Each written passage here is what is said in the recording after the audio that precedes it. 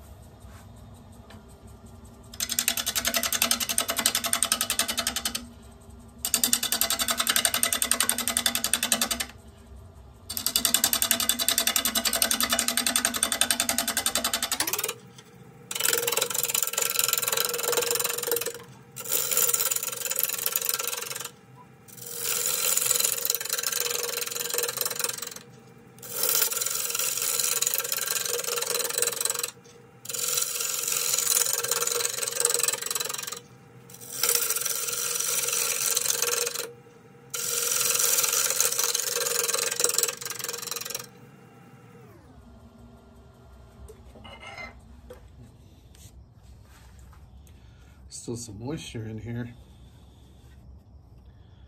Oh, Anyhow, I'm gonna keep working this away. See if I can get rid of all this rotten, punky wood. Get down to something where I can figure out what shape I wanna go with.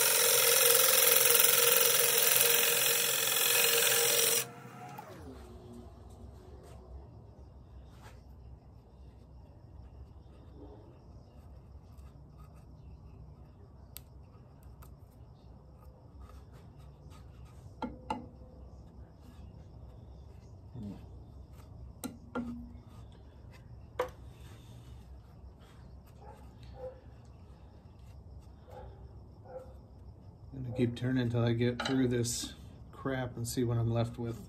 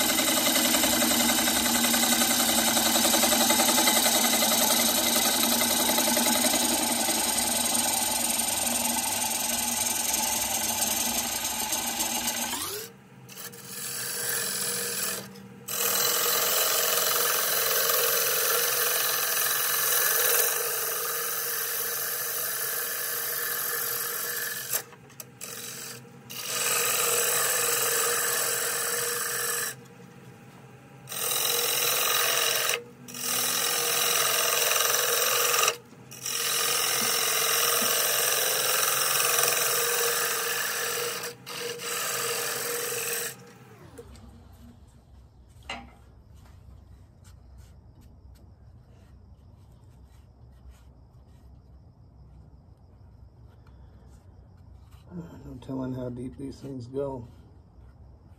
May go all the way through it. It's pretty solid though. I'm gonna make a tenon. See what happens.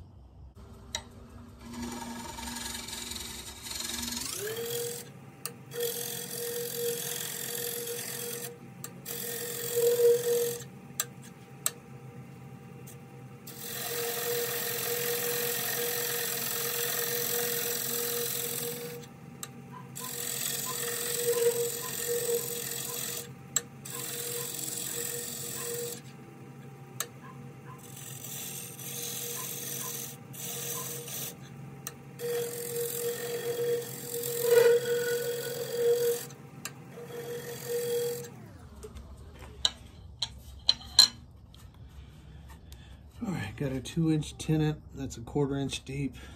Here's the base for my jaws to rest against. You know, I think this goes all the way through here too, so I've already taken a ton of material away. Just gonna make the dish and see what happens. So it'll have some of this uh, going through it, but we'll see what happens. I'm gonna clean up the outside a little bit more but I think this is the general shape.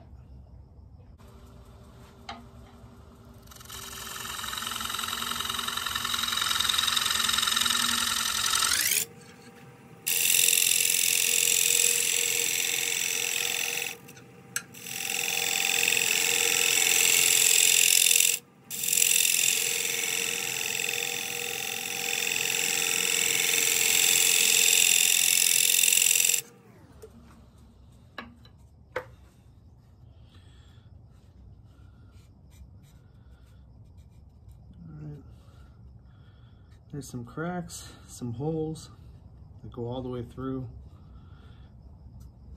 But I think I got a pretty good surface. All right, looks like it's clean. We'll come back for sand in the bottom. Okay, before I get to sanding the bottom, I just wanted to show I made a couple little changes. Um, tenon's the same, base is a little big, but I wanted to stand up on that. So I got this slanted shape of the bowl. I, rather than having a sharp edge, I squared off the corner and then I'll even this up when I flip it around. There's some cool spalting in there. It's a shame though. Uh, this hole comes through. I don't know if you can see it right here. So there's no way to turn this out. I took away a lot of rotten wood hoping I can turn it out, but just can't go through and I'm sure that'll come through the bottom too. But this pepper, it's got some nice grain to it. It's gonna sand well, I think. Um, it was a little wet, so it, it'll sand well and it'll just, these little holes, whatever it's from, just will be included in the final bowl. And it's got just a little bit of spalting there at the end. It's kind of cool. I'm interested to see how the bottom will turn out. But like I said, I'll bring you back for, for sand at the end of sanding. I won't make you watch all of it. But we'll sand it up to 600 tonight and bring you back at the end for that.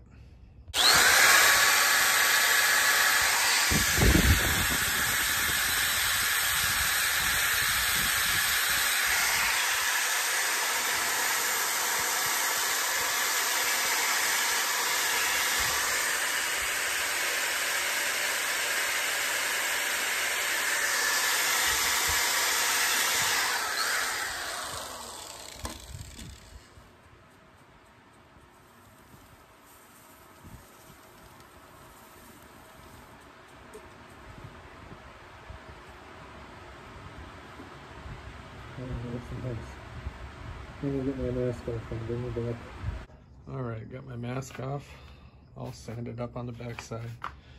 You can see the front. I still have to dig that out. Um, I'm gonna leave it attached to the faceplate tonight, just in case there's any warpage, and I can true up the tenon tomorrow. Um, you can see this is this will be the side rim. Slopes down to the side. Let me bring the light back slopes down to the side, another slope, and then you'll have the base. And when I turn out the tenon, I'm gonna fix this base a little bit. Won't be so quite, sorry for my fingers won't be quite so dramatic, but it's gonna be a raised, or kind of a raised dish. um, since it's going to be more artistic. It is beautiful. Unfortunately, there's this little crack right through the spalted color, but the grain right through here is beautiful through the heartwood. Never knew that about California pepper. It seems so plain. Anyhow, we have these holes that'll come through to the top and these will come through to the bottom of the bowl as well. Um, so it's just, like I said before, it's gonna be included. Nothing I can do about that. Um, I turned enough away enough of the wood. Um, man, check that grain out. Sanded up to 600, 80, 120, 180, 240, 320, 400, 600. So that's the back side. Like I said, I'll leave it here tonight. Tomorrow, um, if I need to, I'll true up the tenon, flip it around in the four jaw chuck, and turn out the inside of the bowl. Back tomorrow. Okay, got it flipped around. We'll turn about 650. Start uh, digging out the center of this.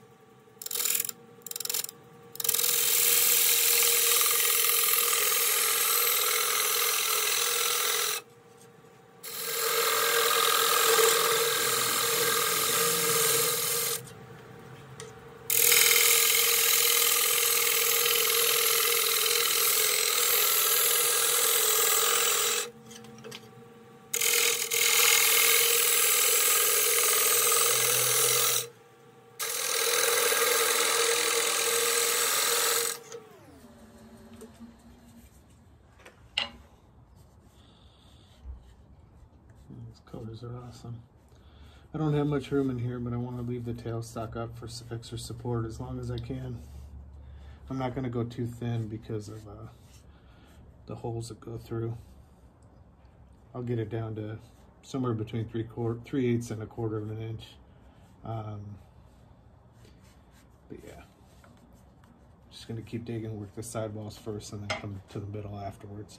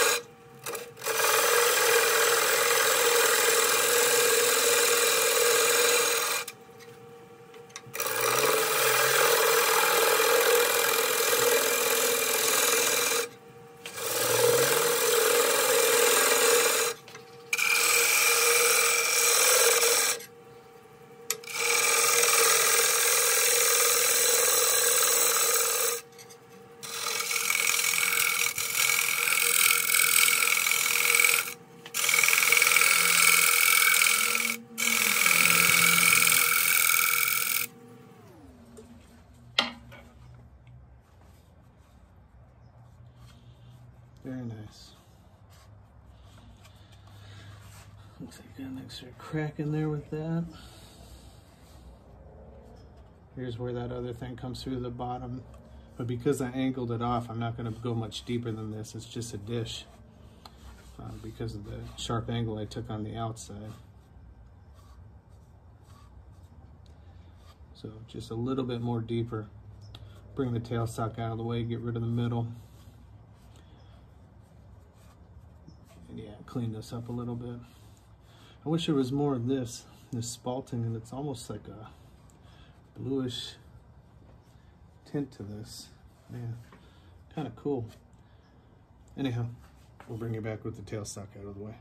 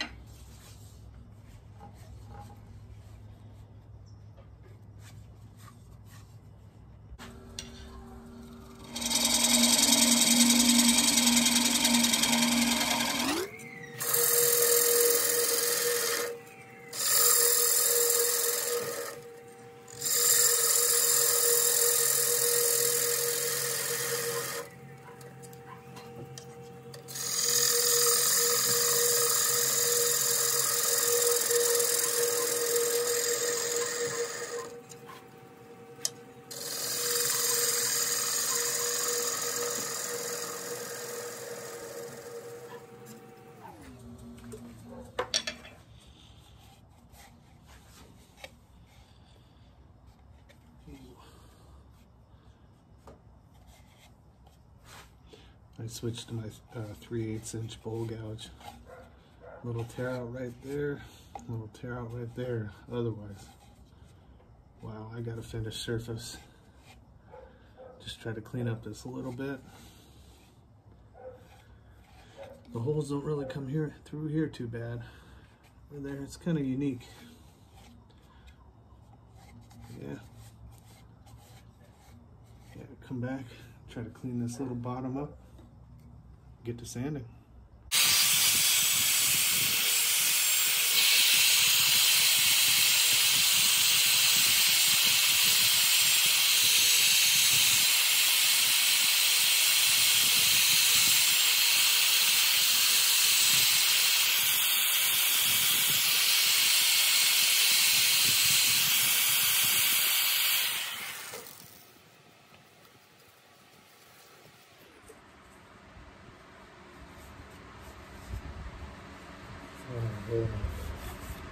I'm bringing back with my mask off. All right, got my mask off. For a piece of wood that I thought was just about ready for the fireplace, um, this turned out beautiful. It had so many holes and punkiness and just looked rotten on the inside, but was able to take enough away where it just came out beautiful. The colors, the grain, absolutely amazing. Um, a little bit of warpage because there's still some wetness seven and seven eighths by seven and three quarters. So it's moved an eighth of an inch, but you can tell it's just gorgeous. Um, these holes aren't from bugs. I guess it's from a knot. There's one hole here that goes through, and then this little uh, bunch that goes right through there. And then there's another crack Maybe you can see it better from this side. That crack shows through. A bunch of holes right there. Kind of gives a character though. Some kind of knot or something. I don't think it's bugs. And then this one from the bottom. That's out of this bunch, that one hole comes through to right there.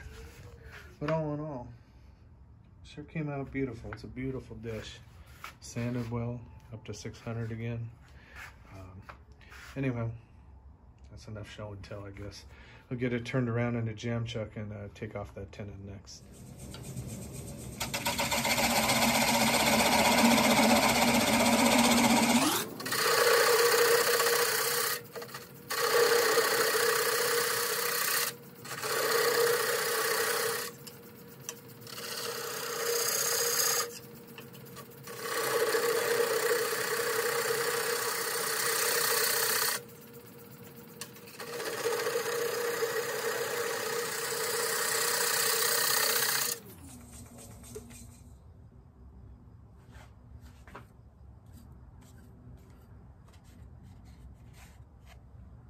Almost there. Okay, made it concave.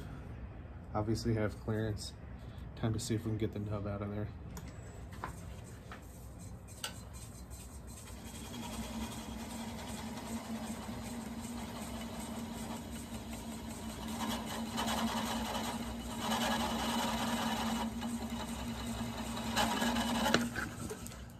Oops. Broke off on me. That's okay. Left a little mark. I guess too much pressure where it broke off. But we'll get this sanded up on the drill press and you'll never know.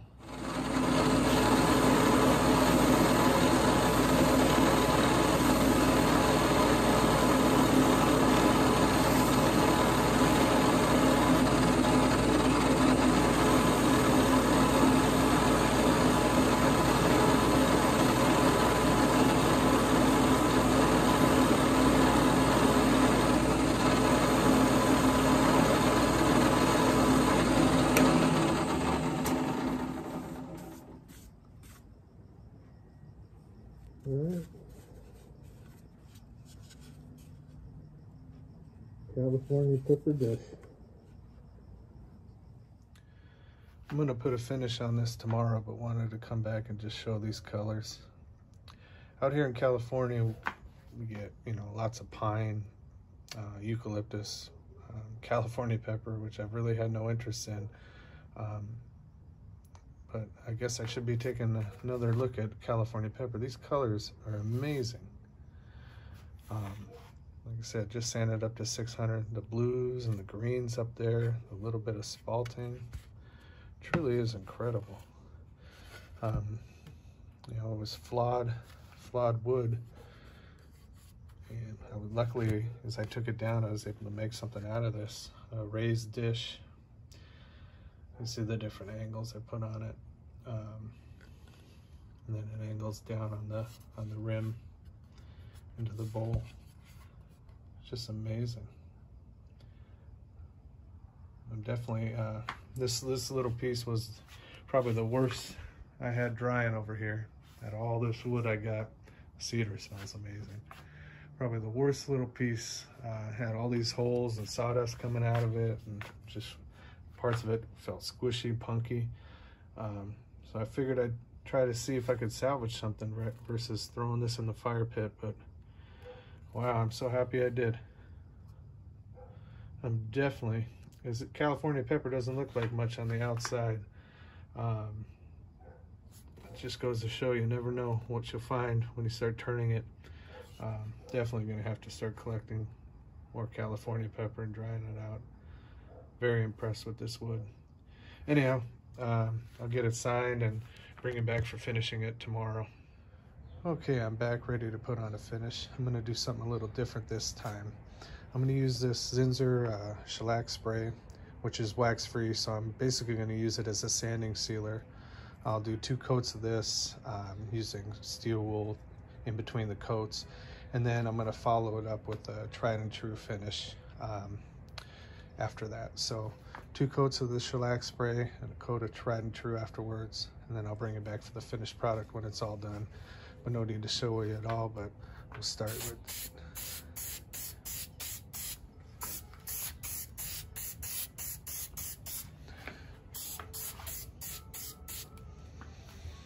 yeah like I said two coats of this uh, shellac spray kind of using it as a sanding sealer and then we'll follow up with tried and true. But like I said, I'll bring it back uh, with a finished product in a couple days. Hey, happy Easter. Welcome back. Here's the finished product, my little raised dish.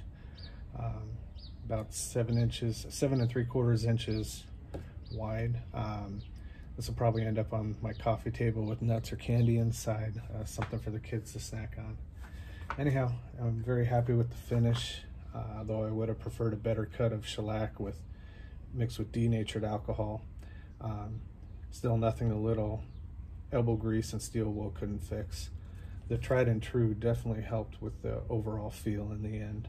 Um, prefer walnut, cherry, and so forth in terms of texture, but can't deny the beautiful colors and grain in this pepper wood.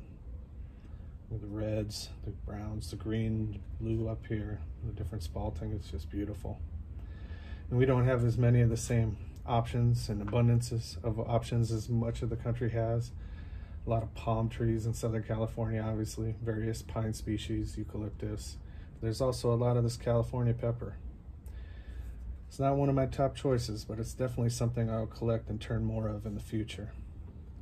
Um, this this this piece was a pleasant surprise. I left it completely natural though, um, no cracks filled with CA glue or anything like that, mostly due to the cool, unique uh, patterns of the, these holes in the piece. So I just wanted to leave it leave it natural. Um, but again, just very happy with how it turned out. This little piece of scrap wood that almost became firewood. Uh, just beautiful. And like I said, this will definitely end up on my coffee table. Anyhow, um, thanks again for watching. On to the next project. Hope you had a great holiday weekend.